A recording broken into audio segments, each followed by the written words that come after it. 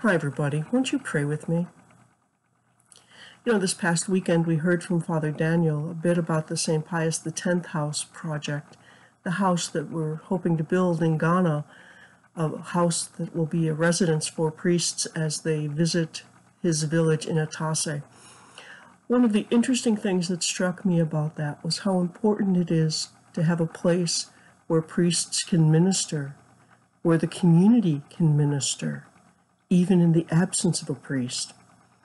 I found myself pondering deeply what it meant to have a house, a home, a place to dwell. One of the things that struck me was the fact that in this day and age, we still have parts of our world where priests are nomads. They wander from place to place. Why? Serving God's people and raising up disciples. Isn't that what we're about? Raising up disciples and serving God's people? For prayer today, I'd like to share with you a couple of different things.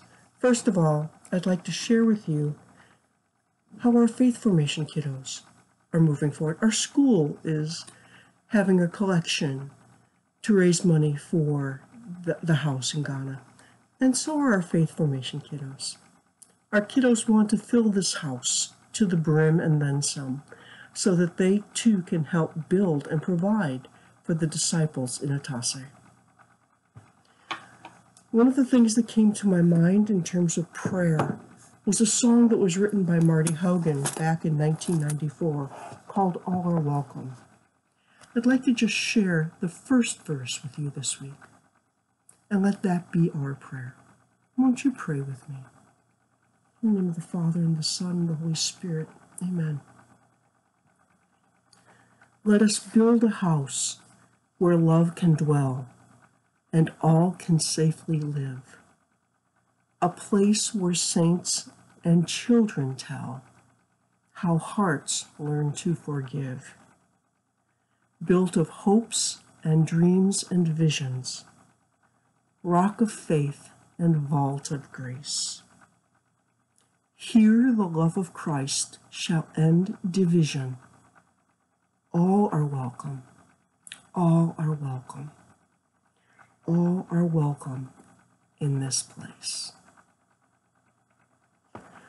Loving and gracious God, that prayer, that song is but a testament and testimony to your presence with us and for us.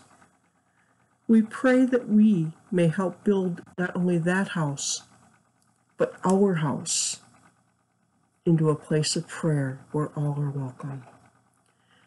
As we continue this Lenten journey, may our almsgiving, our sharing, be an outpouring of the love we know from you. May we truly be a people where all are welcome. May we know that in this place, love and faith may grow. Amen. In the name of the Father, and of the Son, and of the Holy Spirit. Amen. God be with you all this week. Have a great Lent.